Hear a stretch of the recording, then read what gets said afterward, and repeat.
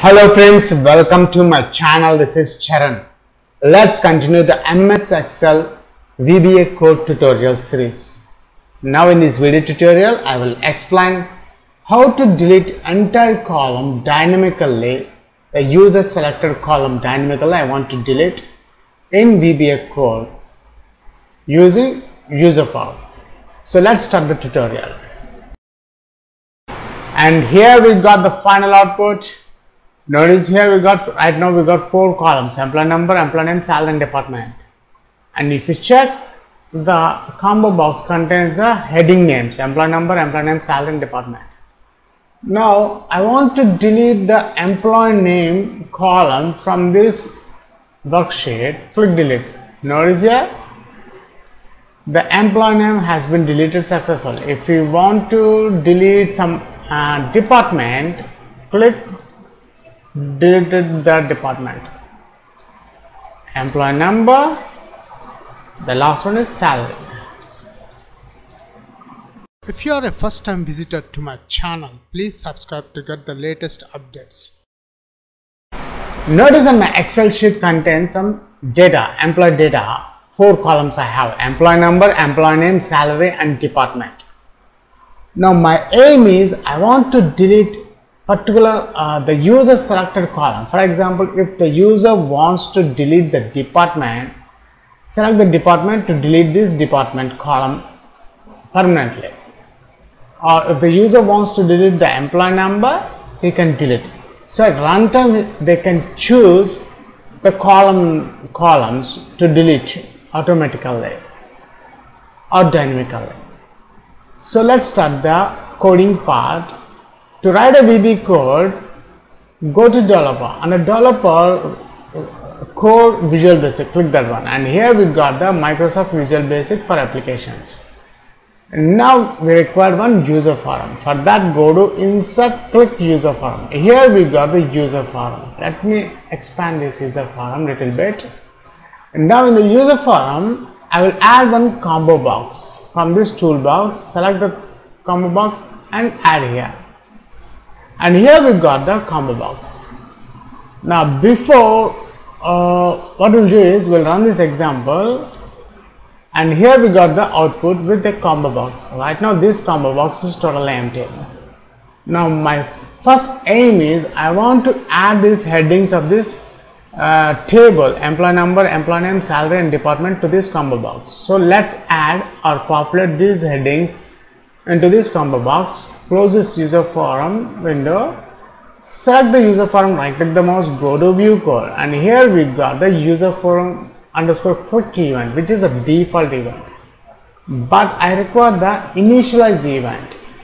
So delete this default click event from this code. Here i'm adding user form underscore initialize. Combo box one dot value is equals to application application dot transpose. Transpose. Here I am using the transpose method because I am adding the rows not columns. Now we require the range of these rows. A1 column d1 and notice here I am adding value. Value. A1 column d1 because I have four columns so I am adding A1 to D1 if you have more columns you can add more columns according to your requirement. After that let's check the output. Uh, could not set the value properly type mismatch.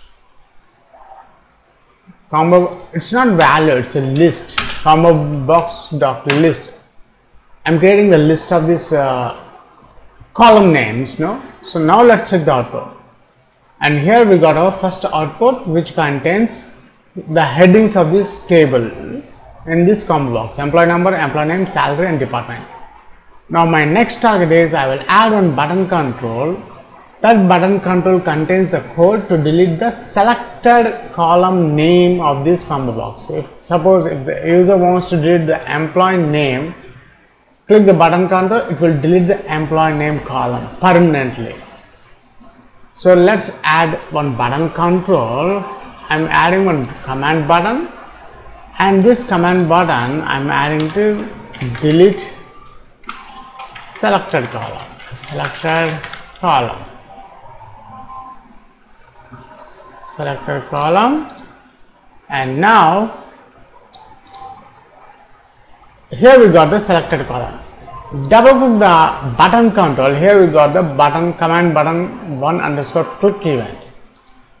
Now here the main coding part is first we need to set first I need to get all the columns uh, delete columns. Delete columns is equals to range. The range I require. Range a1 to d1 we don't require the value property here. Just I'm adding the range the column range. After that I'm using for each loop I require the object of this uh, del column.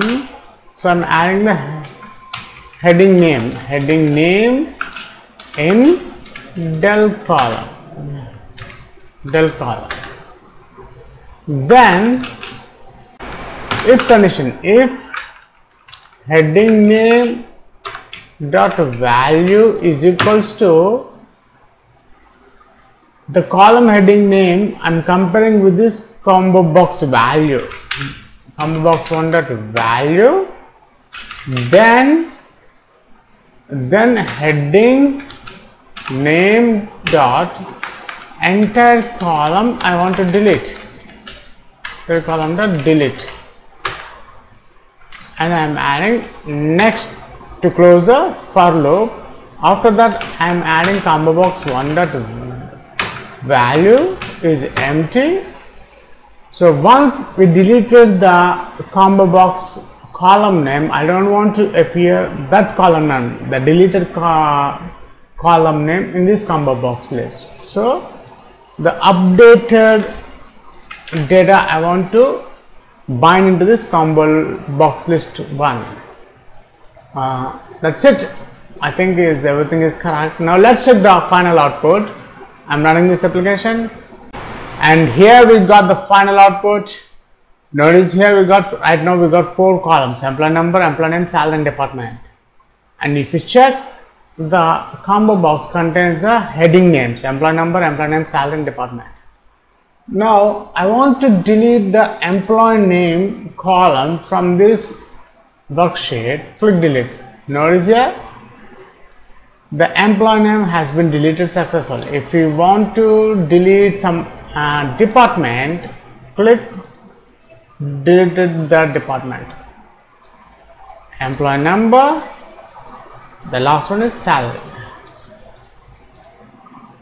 See in this video tutorial, I have explained how to delete the dynamically the selected column from a worksheet using VBA code. Thanks for watching and please subscribe my channel. Catch you in my next video tutorial.